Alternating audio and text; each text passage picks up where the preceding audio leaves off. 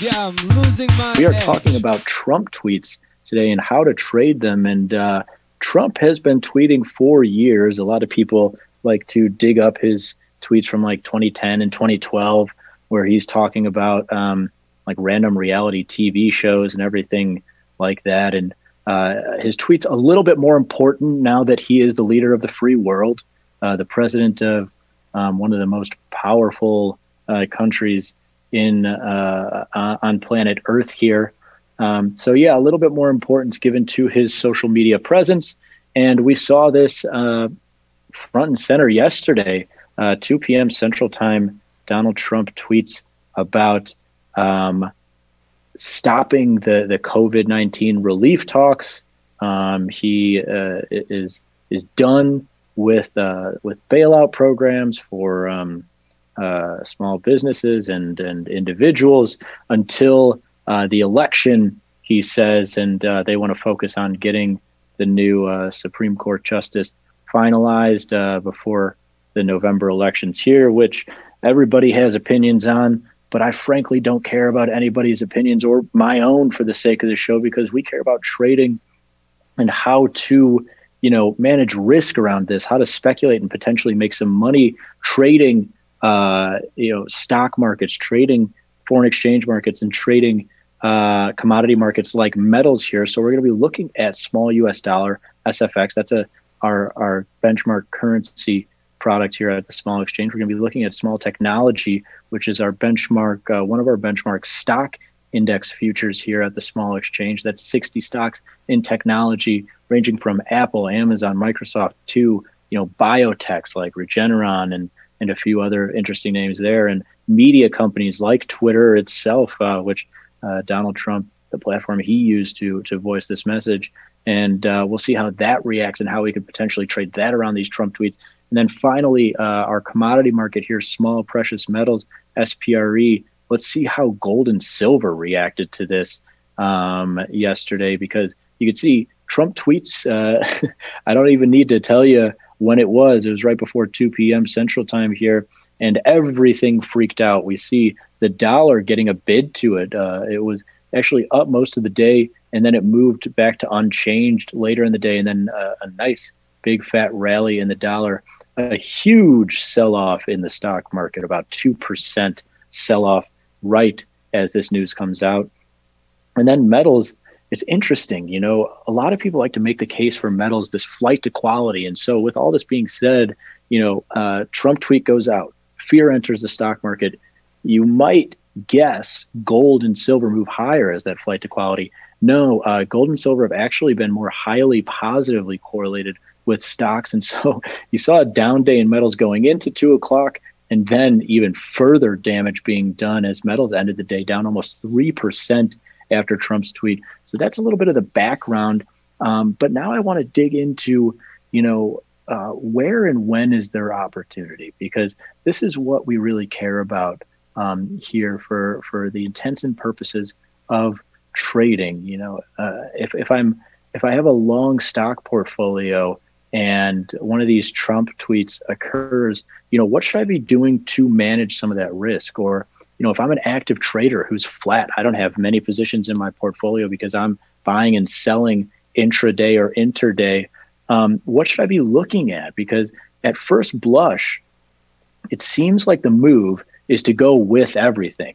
You know, uh, uh Trump comes out and, and, and tweets this uh, bearish, uh, sentiment filled um, 140 characters, or did they do 280 characters? I don't know how many characters he gets, um, but you see the stock market sell off, and uh, you might think to yourself, oh, well, I should sell with it. I should go with that. But you see this immediate bounce, and then you see today everything is actually, I, I didn't even account for this in the charting, but everything's already back to where it was yesterday. You had the, the small technology futures sell off from about uh, just above 54 all the way to 53. And right now they're trading back at 54 this afternoon, just 24 hours later. And uh, same with metals and same with dollar. A lot of everything today on Wednesday reversing Tuesday afternoon's move. And so, uh, you know, it maybe takes longer uh, and it may be harder to get on the other side of these trades. But that's what I really think the opportunity is in trading Trump tweets. So let's dig into it a little bit more, put some numbers around it, because uh, it's it's it's too easy to just say, uh, yeah, get on the other side of everything, and that's the end of the show. What we usually look at to gauge opportunity is anything that's outside of the normal range. You know, before I even opened up Twitter and saw uh, the damage that was done given uh, President Trump's uh, tweet thread that went out at about 1:48 p.m. Central Time yesterday, um, I already knew something was up because we're looking at these average ranges in STIX, the stock market, in SPRE, the metals market, and in SFX, the dollar market. And when I'm looking at my platform and I see everything goes from being inside these ranges yesterday to well outside of those ranges, I know something's up. And, and that's where I start to think, okay, there's some opportunity here uh, in, in this SPRE market that was down over $2 yesterday afternoon, the STIX market that was down a dollar and a half yesterday afternoon, and SFX that was up about 50, 60 cents. Um, and so we're going to start with those numbers in our head and then look at what went on yesterday. You see, STIX fell by a dollar twenty in 10 minutes. And once again, uh, that, that quick, uh, violent move, it's really hard to go with because, you know, 10 minutes uh, is is enough time for algo traders and and uh, big uh, market making firms and and and prop shops uh, all over the country, professional traders. It's it, that's enough time for them to digest their computers to digest the move and go with this trend. But you and me at home here, who are doing ten other things and uh, have our trading platforms up and our social media platforms up, um, it's really not enough. And uh, not even 10 minutes where this thing falls by a dollar 22 these lows but in the first you know 30 seconds to couple minutes most of the damage is already done here so you miss a lot of the selling opportunity but what you did have uh, you know so about 150 to 2 o'clock you see this huge sell off of $1.20 and i just told you that an average day is about 80 cents. So we've got something going outside of the average day to me that's looking like opportunity. What to me is the most opportunistic part of this isn't the one dollar and twenty one one dollar and twenty cent move lower, which is the biggest move of yesterday, but the smaller but uh, easier to handle, uh, easier to get uh, the trade on for here. Uh, the trade was the the fifty cent bounce. Um, that's what occurred in the next 30 to 45 minutes here as you see the market get as low as 53.20 and then get all the way back to 53.75. Um, I like that a lot better. And, and then you're seeing even the extension further today where STIX is all the way back to 54 um, because, and I spoke to this a little bit uh, earlier, nothing has really changed. You know, if, if Trump wants his um, Republican uh, senators and representatives to stop talking about COVID bailouts and relief funds, um, until after the election, yeah, that's going to change some of the conversations going on in the political world. But what is it going to change for uh, Apple, Amazon, Regeneron, the biotechs, uh, Twitter, media companies in tech? Um, not a whole lot. Uh, it would take some real fundamental changes in the next 30 days for that those stocks to li- lose the billions in market capitalization that they lost in a couple of minutes. And that's why you have the bouncing effect and you have the extension uh, even further today. So I like, uh, you know, being signaled whether it is you were on Twitter and you saw these tweets come out, or you were just on your trading trading platform and you saw a dollar twenty move lower. Um, that is ringing uh, to me as opportunity to get on the other side of. And as you can see here, you had the 50 cent bounce in the short term.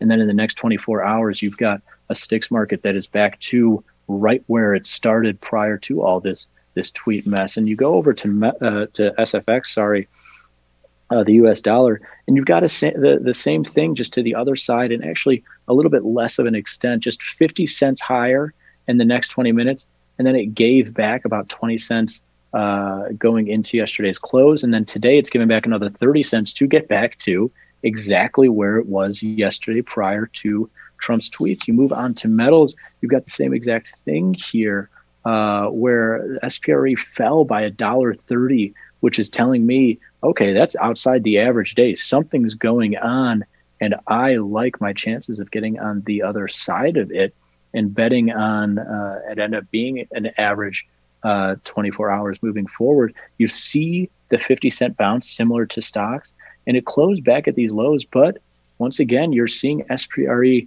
now up a dollar today. So the immediate bounce off of uh, these Trump tweets, I like getting on the other side of it um, eh, for the short term. And just uh, it's one of those news items that you ask yourself, does this truly change the landscape for the price of gold, the price of Apple stock, the price of Amazon stock, and all the rest?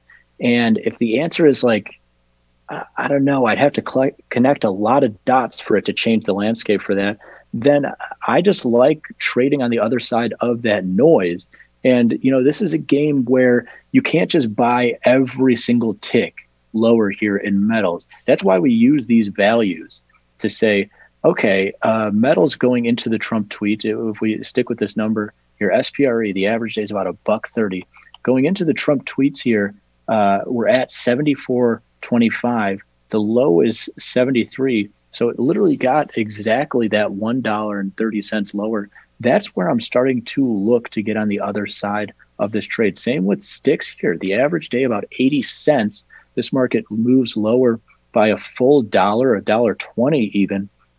But when it's down 80 cents here, that's where I'm looking to start to get into a couple positions. And so, you know, it, it's a matter of uh, seeing uh, the opportunity in the movement of these markets, gauging it with that one standard deviation and saying, okay, uh, Trump tweeted, and so now these markets have moved outside of that average day, using that measure as the entry point, and then also having your mechanics to get out of that position because it's nice that you know you could have started putting on some long STIX positions when it was down 80 cents a dollar a dollar 20 and then gotten rid of those positions on the 50 cent bounce. But if the market did continue 50 cents lower you have to start peeling off some of that risk uh, on those few occurrences when Trump tweets or a Fed chairperson speaks or uh, we get some inventory numbers in crude oil or we get some non-farm payroll numbers and a few times you'll see the big move off of that and the extension because something truly fundamental has changed.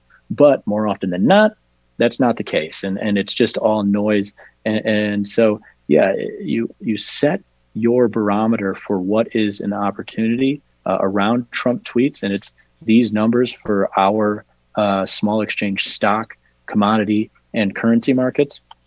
You start to look at those boundaries that they push around the Trump tweets as entry points, and then you have to think, what are my exit options here? If these Trump tweets actually lead to something that takes uh, the STIX market from 54 to 53 down to 52, then I have to have an exit strategy.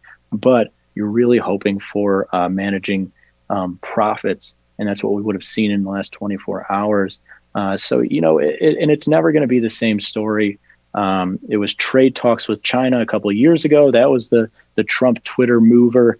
Uh, there, here now, it's uh, a, a, lot of COVID related stuff coming out of his social media feeds that are are moving stuff around. There'll be something else uh, in the next 30 days for sure as the election uh, nears, but all you can do is have these uh, these these values that you look at for gauging opportunity and then gauging where to exit that opportunity for hopefully profits but sometimes inevitably losses. And that's how you trade trump tweets with small exchange products